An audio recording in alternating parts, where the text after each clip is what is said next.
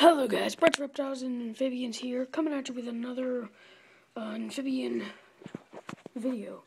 Um, this amphibian video will be on bum, bum, bum, the white tree frog. Now, there are two different types of white tree frog. They are the Indonesian white tree frog and the Australian white tree frog. Um, the one I have here is the Australian. I'm not sure if there's any difference other than the name and where they come from. But they make great pets. Uh, if you're going to get a tree frog, I recommend wedge tree frogs because they are slightly easy to take care of.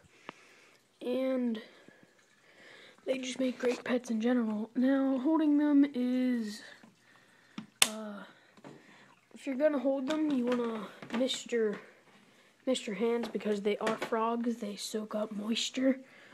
Um, I miss I pre-misted my hands, so this little guy was croaking before.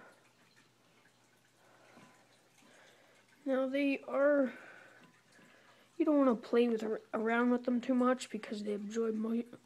Uh, and he just uh frogs do do that. Um, he got scared and uh, squirt squirted.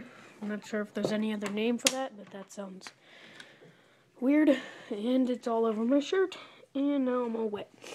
Well, anyway, guys, that was the white tree frog, and I hope you guys like this video. And I'm gonna go clean up now. This has been the white tree frog.